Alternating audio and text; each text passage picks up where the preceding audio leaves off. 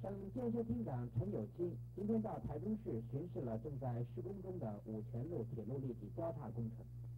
这是由省政府补助经费下，台中市在都市计划道路中新建的第三个铁路立体交叉。这座铁路立体交叉的长度有三百四十六点五公尺，桥高四点六公尺，宽三十公尺，分快车与慢车道，预定十月间完成。这座铁路立体交叉不但对于台中市的交通有所改善，同时对于南北纵贯公路来往的车辆也将带来了很大的方便。